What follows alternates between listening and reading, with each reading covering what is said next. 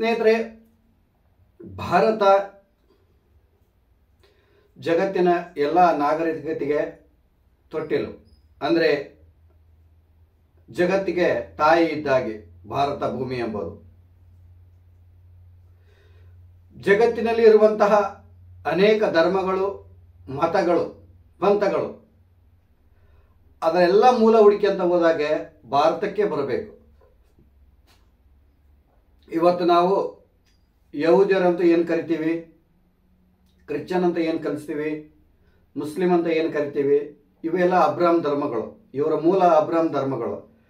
ಈ ಅಬ್ರಾಮರ ಮೂಲ ಭಾರತ. ಅಂದರೆ ಇವತ್ತಿನ ನಮ್ಮ ಇತಿಹಾಸಕಾರರು, ಇವತ್ತು ನಮ್ಮ ಇತಿಹಾಸ ಗ್ರಂಥವನ್ನು ಬರೆದಂಥ ಇತಿಹಾಸಕಾರರು ಎಲ್ಲ ವಿದೇಶಿಯರಾಗಿದ್ದಾರೆ. ವಿದೇಶಿಯರ ಇತಿಹಾಸ ಬರೆದಿದ್ದನ್ನೇ ನಾವು ಕಾಪಿ ಮಾಡ್ತಾ ಇದ್ದೀವಿ. ಬಟ್ ಭಾರತದ ನಿಜವಾದ ಇತಿಹಾಸ ಬೇರೆನೇ ಇದೆ. ಸ್ನೇಹಿತರೆ, ಇವತ್ತು ನಿಮಗೆ ಭವಿಷ್ಯ ಪುರಾಣ, ಶ್ರೀ ವ್ಯಾಸರು ಬರೆದಂಥ ಭವಿಷ್ಯ ಪುರಾಣವನ್ನು ನಿಮ್ಮ ಮುಂದೆ ಇಡ್ತಾ ಇದ್ದೀನಿ. ಈ ಒಂದು ಭವಿಷ್ಯ ಪುರಾಣ ಶ್ರೀ ಜಯಚಾಮರಾಜೇಂದ್ರ ಗ್ರಂಥ ರತ್ನಮಾಲ ಮೈಸೂರು ಮಹಾರಾಜರ ಗ್ರ, ಗ್ರಂಥಾಲಯದಲ್ಲಿ ಇರುವಂಥದ್ದು ಈ ಭಾಗ ಏಳನೇ ಭಾಗ ಪ್ರತಿಸರ್ಗ ಪರ್ವ ದ್ವಿತೀಯ ಖಂಡ ನಿಮ್ಮ ಮುಂದೆ ಓದಿ ಹೇಳ್ತಾ ಇದ್ದೀನಿ. ಇದನ್ನು ಸಂಸ್ಕೃತದಿಂದ ಕನ್ನಡ ಅನುವಾದ ಮಾಡಿದವರು ಪಂಡಿತ್ ಬಿ. ಚೆನ್ನಕೇಶಯ್ಯ, ಆಸ್ಥಾನ ವಿದ್ವಾಂಸರು. ಇದನ್ನು ತರ್ಜಮೆ ಮಾಡಿದ್ದಾರೆ ಸಂಸ್ಕೃತಿಯಿಂದ ಕನ್ನಡಕ್ಕೆ. ಮೇಲೆ ಮೈಸೂರು ಶ್ರೀ ಬಸವೇಶ್ವರ ಎಲೆಕ್ಟ್ರಿಕಲ್ ಪ್ರೆಸ್ ಹತ್ತೊಂಬತ್ತು ನೂರ ನಲವತ್ತೆಂಟರಲ್ಲೇ ಇದನ್ನು ಪ್ರಿಂಟ್ ಮಾಡಲಾಗಿದೆ. ಸ್ನೇಹಿತರೆ, ಈ ಭವಿಷ್ಯ ಪುರಾಣ ಏನಿದೆ ಅಂದರೆ ವ್ಯಾಸ ಮಹರ್ಷಿಗಳು ಹದಿನೆಂಟು ಮಹಾಪುರಾಣಗಳನ್ನು ಬರೆದರು. ಅದರಲ್ಲಿ ಈ ಭವಿಷ್ಯ ಪುರಾಣನೂ ಕೂಡ ಒಂದು. ಇದು ಮುಖ್ಯವಾದ ಪುರಾಣ. ಇದು ಏನು ಹೇಳುತ್ತಂದ್ರೆ ಭೂತಕಾಲವನ್ನು ಹೇಳುತ್ತೆ ಭವಿಷ್ಯತ್ ಕಾಲವನ್ನು ಹೇಳುತ್ತೆ, ವರ್ತಮಾನ ಕಾಲವನ್ನು ಹೇಳುತ್ತೆ. ಈ ಒಂದು ಗ್ರಂಥ, ಭವಿಷ್ಯ ಪುರಾಣ. ಇದು ಟೋಟಲ್ ಎಂಟು ವಾಲ್ಯೂಮ್ ಇದೆ. ಹತ್ರ ಅಂದ್ರೆ ಮೂರು ಸಾವಿರದ ಒಂಬೈನೂರ, ನಾಲ್ಕು ಸಾವಿರ ರೂಪಾಯಿ ಆಗುತ್ತೆ. ನೀವು ಆರ್ಡರ್ ಮಾಡಿ ಆನ್ಲೈನಲ್ಲಿ ಆರ್ಡರ್ ಮಾಡಿ ಕೂಡ ಇದನ್ನು ತರಿಸಬಹುದು. ಬಿ ಚನ್ನಕೇಶಯ್ಯ, ಚನ್ನಕೇಶವಯ್ಯ ಅವರ ಅರ್ಥ ಅರ್ಥ ಸಹಿತ ಬರೆದಿರುವಂತಹ ಭವಿಷ್ಯ ಪ್ರಾಣ ಅಂತಂದು ನೀವು ಆನ್ಲೈನಲ್ಲಿ ಸರ್ಚ್ ಮಾಡಿದ್ರೆ ಕೂಡ ಸಿಗುತ್ತೆ. ಎಂಟು ಒಂಬತ್ತು ವಾಲ್ಯೂಮ್ ಬರುತ್ತೆ. ಹತ್ರ ಹತ್ರ ನಾಲ್ಕು ಸಾವಿರ ರೂಪಾಯಿ ಆಗುತ್ತೆ. ನೀವು ತರಿಸ್ಕೊಂಡು ಓದಿ, ನಾನು ಹೇಳುವಂಥ ವಿಚಾರ ಇಲ್ಲಿದೆ.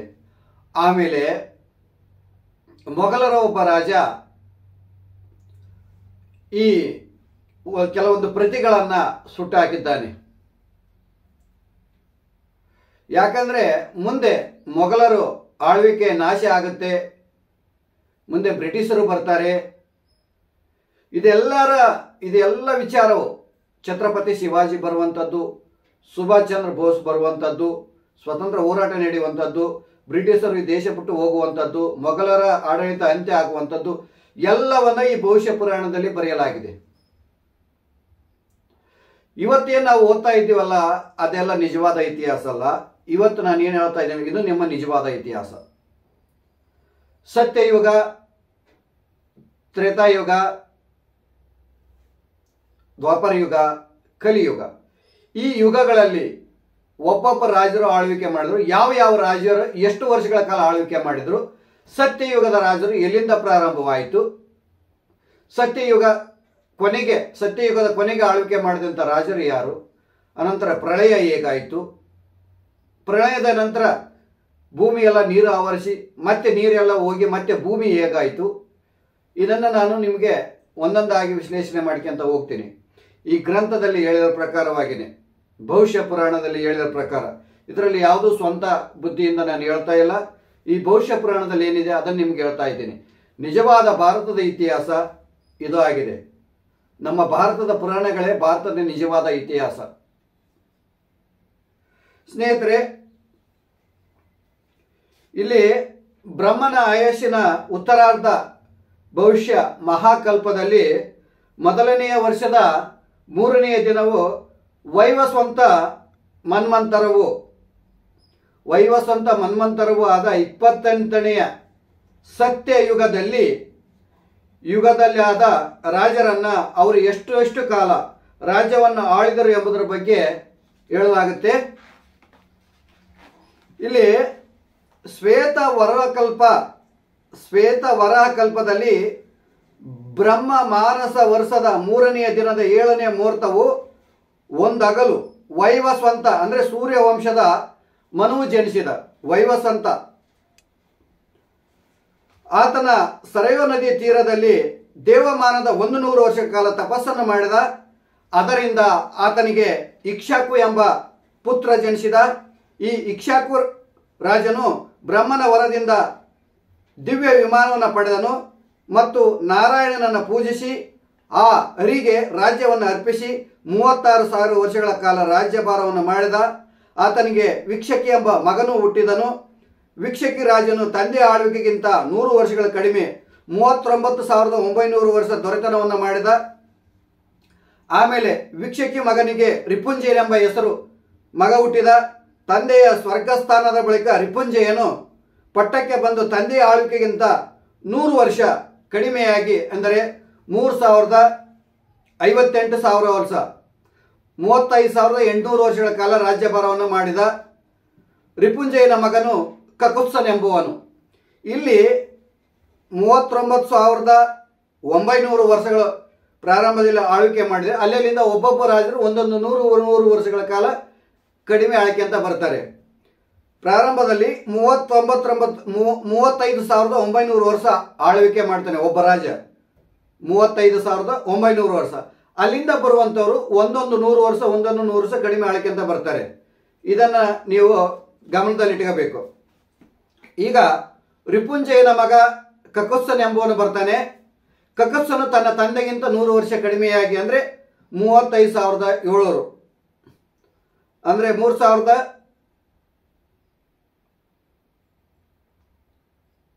ಮೂವತ್ತೈದು ಸಾವಿರದ ಏಳ್ನೂರು ವರ್ಷ, ಮೂವತ್ತೈದು ಸಾವಿರದ ಏಳ್ನೂರು ವರ್ಷವನ್ನ ಕಕುತ್ಸ ಆಳ್ವಿಕೆ ಮಾಡ್ತಾನೆ.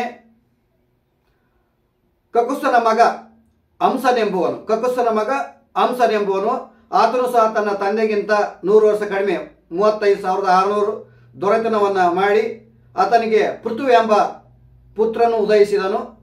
ಪೃಥುವು ತಂದೆಗಿಂತ ನೂರು ವರ್ಷ ಕಡಿಮೆಯಾಗಿ ಮೂವತ್ತೈದು ಸಾವಿರದ ಐನೂರು ವರ್ಷ ಆಳಿದ ಆತನ ಮಗನಾದ ವಿಶ್ವಗಶ್ವನ್ ಎಂಬುವನು. ಪೃಥುವಿನ ಮಗ ವಿಶ್ವಗಶ್ವನ್ ಎಂಬುವನು ಪೃಥ್ವಿಗಿಂತ ನೂರು ವರ್ಷ ಕಡಿಮೆ ಮೂವತ್ತೈದು ಸಾವಿರದ ನಾನ್ನೂರು ರಾಜ್ಯಭಾರ ಮಾಡಿದ ಅರದ್ರನ್ ಎಂಬುವನು ಆತನ ಪುತ್ರ. ಅರದ್ರನು ತನ್ನ ತಂದೆಗಿಂತ ನೂರು ವರ್ಷ ಕಡಿಮೆಯಾಗಿ ಮೂವತ್ತೈದು ಸಾವಿರದ ಮುನ್ನೂರು ವರ್ಷ ಆಳಿ, ಆಳಿದನು. ಅರದ್ರನ ಮಗನಾದ ಭದ್ರಶ್ವನು ತನ್ನ ತಂದೆಯ ಆಳ್ವಿಗಿಂತ ನೂರು ವರ್ಷ ಕಡಿಮೆ ಕಾಲ, ಮೂವತ್ತೈದು ಸಾವಿರದ ಏಳ್ನೂರು ವರ್ಷ ದೊರೆಯಾಗಿದ್ದನು ಭದ್ರಶ್ವನ ಮಗನು ಯುವನಶ್ವ. ಯುವನಶ್ವನು ಭದ್ರಶ್ವನಿಗಿಂತ ನೂರು ವರ್ಷ ಕಡಿಮೆಯಾಗಿ ಆಳಿದ ಶ್ರವಸ್ತನೆಂಬುವನು ಯುವನಾಶ್ವನ ಮಗ. ಆತನು ಯುವನಾಶ್ವನಿಗಿಂತ ನೂರು ವರ್ಷ ಕಡಿಮೆಯಾಗಿ ಆಳಿದ ಶ್ರವಸ್ತನ ಕಾಲಕ್ಕೆ ಭಾರತ್ ಭಾರತಾಂತರದಲ್ಲಿ ಕೃತಯುಗದ ಮೊದಲನೆಯದಾದ ಸತ್ಯಪಾದದ ನಡೆಯುತ್ತಿತ್ತು. ಅಂದರೆ ಸತ್ಯಯುಗದ ಮೊದಲನೆಯ ಪಾದ ನಡೀತಾ ಇತ್ತು. ಮನುವಂಶದ ರಾಜರು ನೀತಿಪರರಾಗಿ ಭೂ, ಭೂಮಂಡಲವನ್ನು ಆಳಿದರು. ಬೃಹದಶ್ವನೆಂಬುವನು ಶ್ರವಸ್ತನ ಮಗ. ಬೃಹದಶ್ವ ಅವನಿಗಿಂತ ನೂರು ವರ್ಷ ಕಡಿಮೆ ವರ್ಷ ಆಳಿದನು. ಆತನ ಮಗ ಕುವಲಾಶ್ವ, ಕುವಲಾಶ್ವನು ನೂರು ವರ್ಷ ಕಡಿಮೆಯಾಗಿ ಮೂವತ್ನಾಲ್ಕು ಸಾವಿರದ ಎಂಟುನೂರು ಆಳಿದ ಆತನ ಮಗ ದೃಢಶ್ವ. ದೃಢಶ್ವ ಸಾವಿರ ವರ್ಷ ಕಡಿಮೆ ವರ್ಷ ಆಳಿದ ಆತನ ಪುತ್ರ ನಿಕುಂಬ ನಿಕುಂಬನು ಸಾವಿರ ವರ್ಷ ಕಡಿಮೆಯಾಗಿ ಆಳಿದನ ಆತನ ಮಗ ಸಂಕಟಶ್ಚ. ಸಂಕಟಶ್ಚನು ಅದಕ್ಕಿಂತ ಸಾವಿರ ವರ್ಷ ಕಡಿಮೆ ಆಳಿದ ತಂದೆಗಿಂತ. ಆತನ ಮಗ ಪ್ರೇಸನಾಜಿತ್ತು ಪ್ರೇಸನಾಜಿತ್ತು ಪ್ರೇಸನಾಜಿತ್ತು ಅವನಿಗಿಂತ ಸಾವಿರ ವರ್ಷ ಕಡಿಮೆ ಆಳಿದ ಆತನ ಮಗ ರಾವಣಶ್ವ. ರಾವಣಶ್ವನು ಅವನಿಗಿಂತ ಸಾವಿರ ವರ್ಷ ಕಡಿಮೆ ತಂದೆಗಿಂತ ಆಳಿದ ಆತನ ಮಗ ಮದಾಂತ. ಮದಾಂತನು ನೂರು ವರ್ಷ ಕಡಿಮೆ ಆಳಿದ ಆತನ ಪುತ್ರನು ಪುರುಕುತ್ಸ. ಪುರುಕುತ್ಸನು ನೂರು ವರ್ಷ ಕಡಿಮೆ ಆಳಿದ ಅವನ ಮಗ ತ್ರಿಶಾಂತಶ್ವ. ಆತನ ರಥಕ್ಕೆ ಮೂವತ್ತು ಒಳ್ಳೆಯ ಕುದುರೆಗಳನ್ನು ಕಟ್ಟುತ್ತಿದ್ದರು. ಅನರಣ್ಯನೆಂಬುವನು ತ್ರಿಶಬ್ದಶ್ವನ ಪುತ್ರ. ಅನರಣ್ಯನು ಇಪ್ಪತ್ತೆಂಟು ಸಾವಿರ ವರ್ಷಗಳ ಕಾಲ ರಾಜ್ಯಭಾರವನ್ನು ಮಾಡಿದನು. ಆತನ ರಾಜ್ಯಭಾರವು ಸತ್ಯಯುಗದ ಎರಡನೆಯ ಪಾದದಲ್ಲಿ ನಡೆಯುತ್ತಿತ್ತು. ಈತನ ಕಾಲದಲ್ಲಿ ಸತ್ಯಯುಗ ಎರಡನೇ ಪಾದ ನಡೀತಾ ಇತ್ತು. ಈಗ ಪುಷ್ಯದಶ್ವನೆಂಬಾತನು ಅನರಣ್ಯನ ಪುತ್ರ.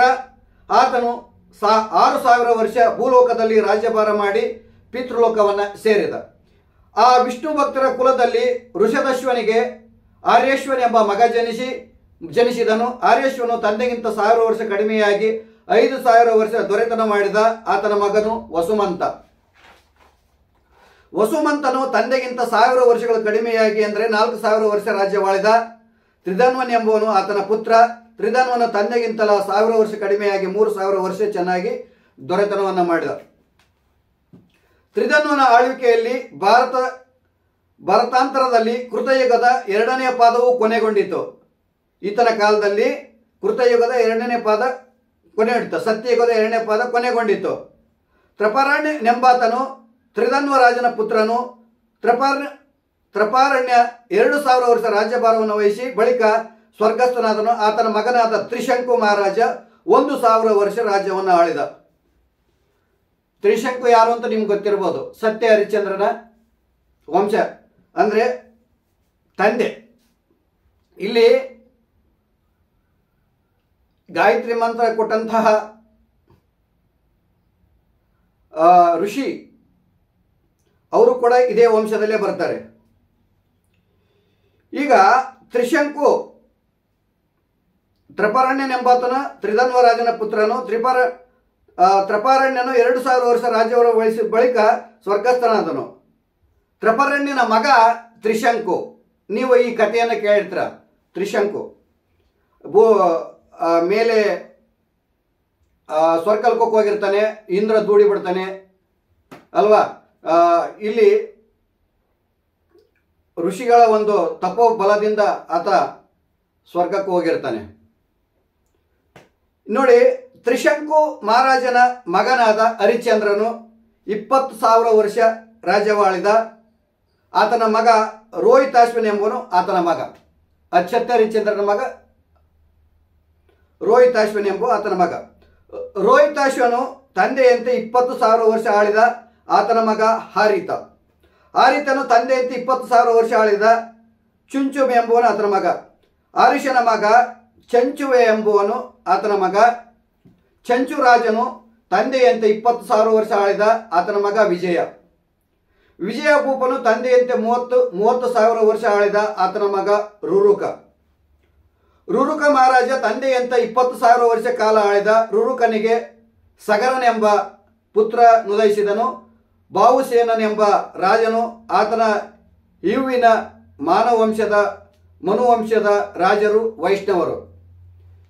ಇಂದಿನ ಮನುವಂಶದ ರಾಜರು ಎಲ್ಲ ವೈಷ್ಣವರಾಗಿದ್ದರು ಈಗ ವೈವಸ್ವಂತ ಮನುವೆ ಮೊದಲಾದ ಸೂರ್ಯವಂಶದ ರಾಜರು ಚೆನ್ನಾಗಿ ರಾಜ್ಯವನ್ನು ಆಳಿದರು. ಅವರ ಕಾಲದಲ್ಲಿ ಸುವರ್ಣವು, ರತ್ನಗಳು ಸಮೃದ್ಧಿಯಾಗಿದ್ದವು. ಅನ್ನವು, ಹಾಲು ಸಮೃದ್ಧಿಯಾಗಿತ್ತು. ಆ ಕಾಲದಲ್ಲಿ ಭೂಮಿಯಲ್ಲಿ ಸತ್ಯಯುಗ ಧರ್ಮವು ಪೂರ್ಣವಾಗಿದ್ದು, ಕೃತಯುಗದ ಮೂರನೆಯ ಪಾದದ ಮಧ್ಯದಲ್ಲಿ ಸಗರನು ಅಳಿದನು. ಮೂರನೇ ಪಾದದಲ್ಲಿ ಸಾಗರ ಎಂಬ ರಾಜ ಆಳಿದ. ಸಾಗರನು ಶಿವಭಕ್ತನಾಗಿದ್ದ. ಅದಕ್ಕಿಂತ ಮೊದಲು ಇದ್ದವರೆಲ್ಲ ವಿಷ್ಣು ಭಕ್ತರು. ಸಾಗರ ಎಂಬವನು ಶಿವಭಕ್ತ. ಸದಾಚಾರ ಸಂಪನ್ನನು ಆಗಿದ್ದನು. ಆತನು ಮೂವತ್ತಾರು ವರ್ಷಗಳ ಕಾಲ ರಾಜ ರಾಜಭಾರ ಮಾಡಿದ. ಋಷಿಗಳು ಹೇಳುವ ಸಾಗರನ ಮಕ್ಕಳಾದ ಸಾ, ಸಾಗರರು ಪಾತಾಳ ಲೋಕದಲ್ಲಿ ನಷ್ಟರಾಗ, ರಾಗಲಾಗಿ ಅಸಮಂಜ ಎಂಬ ಸಾಗರ ಪುತ್ರನು ಸಾಗರನಿಗಿಂತಲೂ ಒಂದು ನೂರು ವರ್ಷ ಕಡಿಮೆಯಾಗಿ ರಾಜ್ಯವನ್ನು ಆಳಿದ ಅಶುಮಂತನು ಅಸಮಂಜನ ಮಗ. ಅಶುಮಂತನು ಅಸಮಂಜನಿಗಿಂತಲೂ ನೂರು ವರ್ಷ ಕಡಿಮೆಯಾಗಿ ಇಪ್ಪತ್ತೊಂಬತ್ತು ಸಾವಿರದ ಎಂಟುನೂರು ಆಳಿದ ಆತನ ಮಗ ದಿಲೀಪ ತಂದೆಗಿಂತಲೂ ನೂರು ವರ್ಷ ಕಡಿಮೆಯಾಗಿ. ದಿಲೀಪ್ ಮಹಾರಾಜ ಇಪ್ಪತ್ತೊಂಬತ್ತು ಸಾವಿರದ ಏಳ್ನೂರು ವರ್ಷ ಆಳಿದ ದಿಲೀಪನ ಮಗ ಭಗೀರಥ. ದಿಲೀಪನ ಮಗ ಭಗೀರಥ ಈ ನದಿಯನ್ನ, ಗಂಗಾ ನದಿಯನ್ನು ತಂದಂತ ಭಗೀರಥ ಸತ್ಯಯುಗದಲ್ಲಿ ಬರ್ತಾನೆ. ದಿಲೀಪನಿಗಿಂತ ನೂರು ವರ್ಷ ಕಡಿಮೆಯಾಗಿ ಇಪ್ಪತ್ತೊಂಬತ್ತು ಸಾವಿರದ ಆರುನೂರು ವರ್ಷ ಆಳಿದ ಭಗೀರಥನ ಮಗನಾದ ಶ್ರುತಸೇನನು ಭಗೀರಥನ ಮಗ ಶ್ರುತಸೇನನು ತಂದೆಗಿಂತ ನೂರು ವರ್ಷ ಕಡಿಮೆಯಾಗಿ ಆಳಿದ ನಾಭಗನೆಂಬುವನು ಶ್ರುತಸೇನನ ಪುತ್ರ. ನಾಭಗ ಎಂಬುವನು ಶ್ರುತಸೇನನ ಪುತ್ರ. ನಾಭಗನು ತಂದೆಗಿಂತ ನೂರು ವರ್ಷ ಕಡಿಮೆಯಾಗಿ ವರ್ಷ ಆಳಿದ ಅಂಬರೀಷನು ನಾಭಗನ ಮಗ. ಅಂಬರೀಷನು ನಾಭಗನ ಮಗ. ಸಗರನಿಂದ ಶ್ರುತಸೇನನ ಹೊರಗಿನ ಆರು ಜನ ದೊರೆಗಳು ಶೈವರಾಗಿದ್ದರು ಆದರೆ ನಭಗನು ವೈಷ್ಣವ. ವೈಷ್ಣವನ ವೈಷ್ಣವನ ಪೂಜಿಸ್ತಾ ಇದ್ದ. ನಾಭಗನ ಆಳ್ವಿಕೆಗೆ ಭಾರತಾಂತರದಲ್ಲಿ ಕೃತ ಅಂದ್ರೆ ಸತ್ಯಯುಗದ ಮೂರನೆಯ ಪಾದ ಕಳೆಯಿತು ಅಂಬರೀಷ ರಾಜನು ತಂದೆಗಿಂತ ನೂರು ವರ್ಷ ಕಡಿಮೆಯಾಗಿ ಇಪ್ಪತ್ತೊಂಬತ್ತು ಸಾವಿರದ ಮುನ್ನೂರು ವರ್ಷ ಆಳಿದ. ಆತನ ರಾಜ್ಯವು ಕರ್ಮಭೂಮಿಯಾದ ಭರತ ವರ್ಷದಲ್ಲಿ ಕೃತಯುಗದ ನಾಲ್ಕನೆಯ ಪಾದದಲ್ಲಿ ಹದಿನೆಂಟು ಸಾವಿರ ವರ್ಷ ಕಾಲ ಶುಭಕರವಾಗಿ ನಡೆಯಿತು. ಅಂಬರೀಷ ಪುತ್ರನಾದ ಸಿಂಧು ದೀಪನು ನೂರು ವರ್ಷ ಕಡಿಮೆಯಾಗಿ ಇಪ್ಪತ್ತೊಂಬತ್ತು ಸಾವಿರದ ಏಳ್ನೂರು ವರ್ಷ ಆಳಿದ. ಸಿಂಧು ದೀಪನ ಮಗನಾದ ಆಯುತಾಶ್ವನು ಇಪ್ಪತ್ತೊಂಬತ್ತು ಸಾವಿರದ ನೂರು ವರ್ಷ ಕಾಲ ಆಳಿದ. ಆಯುತಾಶನ ಮಗನಾದ ಋತುಪರ್ಣನು ಇಪ್ಪತ್ತೊಂಬತ್ತು ಸಾವಿರ ವರ್ಷಗಳ ಕಾಲ ರಾಜ್ಯವಾಳಿದ. ಋತುಪರ್ಣನ ಬಳಿಕ ಅವನ ಮಗ ಸರ್ವಕಾಮನು ಇಪ್ಪತ್ತೆಂಟು ಸಾವಿರದ ಒಂಬೈನೂರು ವರ್ಷ ಆಳಿದ, ದೊರೆತನ ಮಾಡಿದ. ಸರ್ವಕಾಮನ ಬಳಿಕ ಅವನ ಪುತ್ರ ಕಲ್ಮಶ ಪಾವನನು ಇಪ್ಪತ್ತೆಂಟು ಸಾವಿರದ ಎಂಟುನೂರು ವರ್ಷ ರಾಜ್ಯಭಾರವನ್ನು ಮಾಡಿದ. ಕಲ್ಮಶ ಪಾವನನ ಮಗನಾದ ಸುದಾಸನು ಇಪ್ಪತ್ತೆಂಟು ಸಾವಿರದ ಏಳುನೂರು ವರ್ಷಗಳ ಕಾಲ ರಾಜ್ಯಭಾರವನ್ನು ಮಾಡಿದ. ಅವನ ಬಳಿಕ ಮದಯಂತಿ ಎಂಬುವಳಲ್ಲಿ ವಶಿಷ್ಠ ವಶಿಷ್ಠರು ಅನುಗ್ರಹದಿಂದ ಜನಿಸಿದ ಅಶಮಕ, ಆಶ್ಮಕ ಎಂಬುವನು ಆಳಿದ. ಅಂದ್ರೆ ಇಲ್ಲಿ ವಶಿಷ್ಠನು ಅನುಗ್ರಹದಿಂದ ಮದಿ, ಮಧುಮತಿ ಎಂಬುವಳಲ್ಲಿ ವಸಿಷ್ಠನ ಅನುಗ್ರಹದಿಂದ ಜನಿಸಿದ ಆಶ್ಮಕನೆಂಬುವನು ಅವನು ಆಳಿದ. ಆಶ್ಮಕನು ಸುದಾಸಿನಿಗಿಂತಲೂ ನೂರು ವರ್ಷ ಕಡಿಮೆಯಾಗಿ ರಾಜ್ಯಭಾರ ಮಾಡಿದ. ಬಳಿಕ ಹರಿವರ್ಮನು ದೊರೆಯಾದ. ಸುದಾಸನ ಹೊರಗಿನ ಏಳು ಜನ ರಾಜರು ವೈಷ್ಣವರೆಂದು ಕರೆಸಿಕೊಂಡರು. ಸುದಾಸನು ಗುರುಶಾಪಕ್ಕೀಡಾಗಿ ರಾಜ್ಯಾಂಗವನ್ನು ಗುರುವಿಗೆ ಅರ್ಪಿಸಿ, ತಾನು ಶೈ, ಶೈವ ಸಂಪ್ರದಾಯವನ್ನು ಅನುಸರಿಸಿ ಗೋಕರ್ಣಕ್ಕಾಗಿ ಭಕ್ತನಾಗಿಬಿಟ್ಟ, ಗೋಕರ್ಣಕ್ಕೆ ಭಕ್ತನಾಗಿಬಿಟ್ಟ.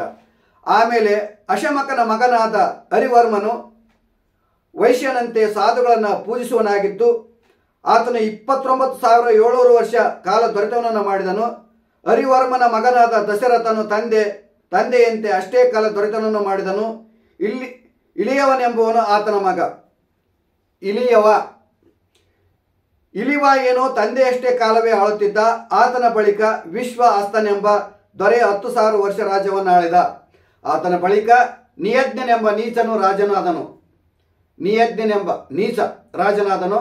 ಅವನ ಅಧರ್ಮದ ಪ್ರಭಾವದಿಂದ ನೂರು ವರ್ಷಗಳ ಕಾಲ ಅನಾವೃಷ್ಟಿ ರಾಜ್ಯವನ್ನೆಲ್ಲ ಹಾಳು ಮಾಡಿತು. ಬಳಿಕ ವಶಿಷ್ಠ ಮುನಿಯು ರಾಣಿಯ ಮಾತಿನಂತೆ ಯಜ್ಞವನ್ನು ಮಾಡಿದನು. ಆ ಯಜ್ಞದಲ್ಲಿ ಕೈಯಲ್ಲಿ ಕಟ್ಟಾಂಗವನ್ನು ಧರಿಸಿದ ಕಟ್ವಾಂಗನೆಂಬುವನು ಉದಯಿಸಿದನು. ಕೈಯಲ್ಲಿ ಕಟ್ಕಾಂಗವನ್ನು ಹಿಡ್ಕೊಂಡು ಬಂದ. ಅವನ ಹೆಸರು ಕಟ್ವಾಂಗ. ಆತನು ಮೂವತ್ತಾರು ಸಾವಿರ ವರ್ಷಗಳ ಕಾಲ ದೊರೆತನ ಮಾಡಿದನು. ತನ್ನ ಆ ಆಯುಧವನ್ನು ಧರಿಸಿ ಇಂದ್ರನಿಗೆ ಸಹಾಯ ಮಾಡಿ ಅಲ್ಲಿ ದೇವತೆಗಳಿಂದ ವರವನ್ನು ಪಡೆದು ಮುಕ್ತನಾದನು. ಕಟ್ವಾಂಗನ ಬಳಿಕ ದೀರ್ಘಬಾವು ಎಂಬುವನು ಇಪ್ಪತ್ತು ಸಾವಿರ ವರ್ಷ ರಾಜ್ಯವನ್ನು ಆಳಿದನು. ಆತನಿಗೆ ದೇವಿ ಪೂಜೆಯಲ್ಲಿ ನಿರತನಾದ ಸುದರ್ಶನನೆಂಬ ಮಗನು ಜನಿಸಿದನು. ದಶರಥನ ಮಗನಾದ ಇಳಿಯವನವರಿಗೆ ಮೂರು ರಾಜರು ವೈಷ್ಣವ ವಿಷ್ಣುವಿನ ಬಲದಿಂದ ಪ್ರಸಿದ್ಧರಾದರು. ಕಟ್ವಾಂಗ, ದೀರ್ಘಬಾವು ಇವರು ವೈಷ್ಣವರೇ ಆಗಿದ್ದರು. ಆಮೇಲೆ ಮಹಾಪ್ರಜ್ಞಾನಂದ ಸುದರ್ಶನ ರಾಜನು ಕಾಶಿ ಪುತ್ರಿಯನ್ನು ವರಿಸಿ ದೇವಿ ಸೇವಾ ತತ್ಪರನಾಗಿ ಆಕೆಯ ಪ್ರಸಾದದಿಂದ ಇತರ ರಾಜರನ್ನು ಜಯಿಸಿ ಭರತಖಂಡದ ಕೊನೆಯವರೆಗೂ ರಾಜ್ಯವನ್ನು ವಿಸ್ತರಿಸಿ ಧರ್ಮದಿಂದ ಆಳಿದನು. ಮಹಾಕಾಳಿಯು ಯಾರಿಗೆ? ಮಹಾಪ್ರಜ್ಞಾನಂದನಿಗೆ. ಮಹಾಕಾಳಿಯು ಆತನಿಗೆ ಕನಸಿನಲ್ಲಿ ಕಾಣಿಸಿಕೊಂಡು ವತ್ಸ, ಮಹಾಮತಿ, ಮಹಾವಾಯುವಿನ ಪ್ರಭಾವದಿಂದ ಭರತಖಂಡವು ನಾಶವಾಗುತ್ತದೆ. ಆದುದರಿಂದ ಪತ್ನಿಯಿಂದ ಒಳಗೂಡಿ ನೀನು ವಶಿಷ್ಠಾದಿಗಳನ್ನು ಒಳಗ, ಒಳಗೊಂಡು ಹಿಮಾಲಯ ಪರ್ವತಕ್ಕೆ ಹೋಗಿ ವಾಸ ಮಾಡು. ಅಂದರೆ ಸಂಪೂರ್ಣ ಜಲಾವೃತ ಆಗೋದಿದೆ ಭೂಮಿ ಅಂತಂದು ಮಹಾಕಾಳಿ ಬಂದು ಹೇಳ್ತಾಳೆ ಕನಸಿನಲ್ಲಿ. ರತ್ನಕ, ರತ್ನಾಕರವೆಂಬ ಹೆಸರಿನ ಪಶ್ಚಿಮ ಸಮುದ್ರ ದ್ವೀಪಗಳು ಮಹೋದರಿ ಎಂಬ ಪೂರ್ವ ಸಮುದ್ರದ ದ್ವೀಪಗಳು, ಬಡಾಪ್ತಿ ಎಂಬ ದಕ್ಷಿಣ ಸಮುದ್ರದ ದ್ವೀಪಗಳು ನಾಶವಾಗುವವು. ಸಾಗರ ಪುತ್ರರು ತೋಡಿದ ಹಿಮಾಬ್ದಿ ಎಂಬ ಸಮುದ್ರ ಉತ್ತರದಲ್ಲಿದೆ ಅಷ್ಟೇ. ಅದರಲ್ಲಿದ್ದ ಅತಿ ಪ್ರಸಿದ್ಧವಾದ ಎಲ್ಲ ದ್ವೀಪಗಳು ಹಾಳಾಗುವವು. ಈ ಭಾರತ ವರ್ಷವು ಇದೇ ವರ್ಷದಲ್ಲಿ ಏಳನೆಯ ದಿನ ಹಗಲಿನಲ್ಲಿ ಸಮಸ್ತ ಪ್ರಾಣಿಗಳೊಡನೆ ಪ್ರಲಯವಾಗುವುದು ನೀನು ಆದ್ದರಿಂದ ತಪಸಿಕೊಂಡು ಅದರಿಂದ ತಪ್ಪಿಸಿಕೊಂಡು ಬದುಕು ಎಂದು ಮಹಾಕಾಳಿ ಹೇಳಿದರು ಆ ಸುದರ್ಶನ ರಾಜನು ಹಾಗೇ ಆಗಲಿ ಎಂದು ಹೇಳಿ ಮುಖ್ಯರಾದ ಆಶ್ರಿತ ರಾಜರೊಡನೆ, ಪ್ರಮುಖರಾದ ವೈಶ್ಯರೊಡನೆ, ಬ್ರಾಹ್ಮಣರೊಡನೆ ಹಿಮಾಲಯ ಪರ್ವತಕ್ಕೆ ಹೊರಟು ಹೋದ. ತರುವಾಯ ಐದು ವರ್ಷಗಳವರೆಗೆ ಬಿರುಗಾಳಿ, ಬಿರುಬಿಸಲು, ನೀರು ಮೊಳಲು ಕ್ರಮವಾಗಿ ಭರತ ಭೂಮಿಯನ್ನು ಆವರಿಸಿದವು. ಅದರಿಂದ ಪ್ರಾಣಿಗಳವು ನಾಶವಾದವು. ಈ ರೀತಿ ಐದು ವರ್ಷಗಳ ಕಾಲ ಭೂಮಿಯು ನೀರಿಂದ ತುಂಬಿ ಮುಚ್ಚಿ ಹೋಗಿತ್ತು. ಬಳಿಕ ಗಾಳಿಯು ಶಾಂತವಾಯಿತು, ನೀರನ್ನೆಲ್ಲ ಬತ್ತಿಸಿತು. ಹತ್ತು ವರ್ಷಗಳಲ್ಲಿ ಜಲಾವೃತವಾಗಿದ್ದ ಭೂಮಿಯು ನೆಲವಾಗಿ ಪರಿಣಮಿಸಿತು. ಇಲ್ಲಿಗೆ ಈ ಭವಿಷ್ಯ ಪುರಾಣದ ಪ್ರತಿಸರ್ಗ ಪರ್ವದ ಪ್ರಥಮ ಖಂಡ ಮೊದಲನೇ ಅಧ್ಯಾಯ, ಅಂದರೆ ಸತ್ಯಯುಗ ಇಲ್ಲಿಗೆ ಕೊನೆಯಾಗುತ್ತೆ. ಒಂದೊಂದು ಯುಗಗಳು ಒಂದೊಂದು ಯುಗಗಳು ಕೊನೆಯಾಗುತ್ತಿದ್ದಂಗೆ ಅಲ್ಲಿ ಒಂದು ಪ್ರಳಯ ಪ್ರಳಯ ಆಗುತ್ತೆ. ಪ್ರಳಯದ ನಂತರ ಮುಂದೆ ಇನ್ನೊಂದು ತೃತಯುಗ ಪ್ರಾರಂಭವಾಗುತ್ತೆ. ಸತ್ಯಯುಗ, ಕೃತಯುಗ ದ್ವಾಪರ ಯುಗ ಕಲಿಯುಗ. ಹೀಗೆ ಒಂದೊಂದೇ ಒಂದೊಂದೇ ಯುಗಗಳು ಪ್ರಾರಂಭವಾಗ್ತವೆ. ಈಗ ನಾನು ಸತ್ಯಯುಗವನ್ನು ಆಳ್ವಿಕೆ ಮಾಡಿದಂಥವರು, ಸತ್ಯಯುಗದಲ್ಲಿ ಯಾವ್ಯಾವ ರಾಜರು, ಎಷ್ಟೆಷ್ಟು ವರ್ಷಗಳ ಕಾಲ ಆಳ್ವಿಕೆ ಮಾಡಿದ್ರು ಎಂಬ ಚಿತ್ರಣವನ್ನು ನಾನು ನಿಮಗೆ ಕೊಟ್ಟಿದ್ದೇನೆ. ಮುಂದಿನ ಒಂದು ಎಪಿಸೋಡಲ್ಲಿ ನಾನು ಮುಂದೆ ಕೃತಯುಗದ ರಾಜರು ಯಾರ್ಯಾರು ಬಂದು, ಯಾರ್ಯಾರು ಎಷ್ಟೆಷ್ಟು ವರ್ಷ ಆಳ್ವಿಕೆ ಮಾಡಿದರು, ಈ ಮುಂದೆ ಯುಗದಲ್ಲಿ ಶ್ರೀರಾಮ ಜನರ ಆಳ್ವಿಕೆ, ದಶರಥನ ಆಳ್ವಿಕೆ ಎಲ್ಲ ಬರುತ್ತೆ. ಸತ್ಯಯುಗದಲ್ಲಿ ದಿಲೀಪ, ಭಗೀರಥ ಸತ್ಯ ಹರಿಶ್ಚಂದ್ರ ತ್ರಿಶಂಕು ಸತ್ಯ ಹರಿಶ್ಚಂದ್ರನ ಮಗ, ಇವರೆಲ್ಲ ರಾಜ್ಯಭಾರವನ್ನು ಮಾಡಿದ್ದು. ನೀವು ಕಾಣ್ತೀರಾ? ತ ಹೇಳ್ತಾ, ತಾವ್ಯಾರು ನಮ್ಮ ಚಾನಲನ್ನು ಸಬ್ಸ್ಕ್ರೈಬ್ ಆದರೆ ಕೂಡಲೇ ಸಬ್ಸ್ಕ್ರೈಬ್ ಆಗಿ ಬೆಲ್ ಬಟನ್ ಒತ್ತಿ, ಹಾಗೂ ನಿಮ್ಮ ಅಭಿಪ್ರಾಯ ಅನಿಸಿಕೊಂಡು ಬರೀ ತಿಳಿಸಿ ಹೆಚ್ಚು ಹೆಚ್ಚು ನಿಮ್ಮ ಸ್ನೇಹಿತರಿಗೆ ಶೇರ್ ಮಾಡಿ. ನಮಸ್ಕಾರ ಸ್ನೇಹಿತರೆ.